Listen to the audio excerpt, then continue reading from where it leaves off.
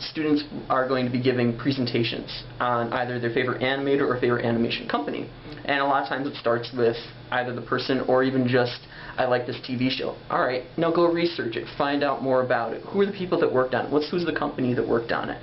And then they start doing more and more research and like, oh, they did this too. I really like this one. Oh, and they did this, and and it starts to they, they start to get more in depth in in the stuff that they like. And and I, I like it because um, not only does it let them research their own contemporary art and that's what I consider it uh, but the students get to hear it.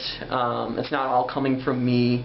And the students doing the research are ideally researching something that they like as opposed to you know other classes where they have to do a paper on a subject that they may not have a real connection to. And this, they will most likely have a real connection to it from either childhood or their current tastes um, so they, they seem to really enjoy it, and the students that are listening to it really enjoy it. And I always tell them to do a very visual uh, presentation, either through PowerPoint or uh, video interviews, because I like to have them go and interview the actual animator if they're still alive, if they're available, or get an interview with the company. It's not required, but they have to at least try and make the connection.